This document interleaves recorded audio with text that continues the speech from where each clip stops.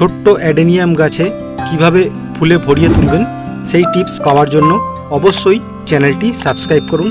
আর দেখুন, এইটুকুনি ছোট্ট একটা পট, কত সুন্দর কডেক্স এবং ফুলে ভর্তি। দেখুন, এত সুন্দর ফুল হয়েছে এবং কুড়িও আসছে। আপনারা এই সময়েও নভেম্বর মাসে দাঁড়িয়েও আপনারা সুন্দর ফুল পাবেন। আপনারা দেখুন, এত সুন্দর ফুলে ভরে উঠেছে। আপনারা নভেম্বর মাসে দাঁড়িয়েও অ্যাডেনিয়াম গাছ থেকে সুন্দর ফুল পাবেন। তাই এই ছোট্ট ভিডিওর মাধ্যমে আপনাদের সাথে এই অ্যাডেনিয়ামের ফুল আমি শেয়ার করলাম। আর ফুল ভিডিও লিঙ্ক আমার ডেসক্রিপশান বক্সে থাকবে। অবশ্যই পুরো ভিডিওর লিঙ্কটা আপনারা দেখে নেবেন এবং অবশ্যই চ্যানেলটা সাবস্ক্রাইব করে রাখবেন, যাতে পরবর্তী টিপস পেতে আপনাদের সুবিধা হয়।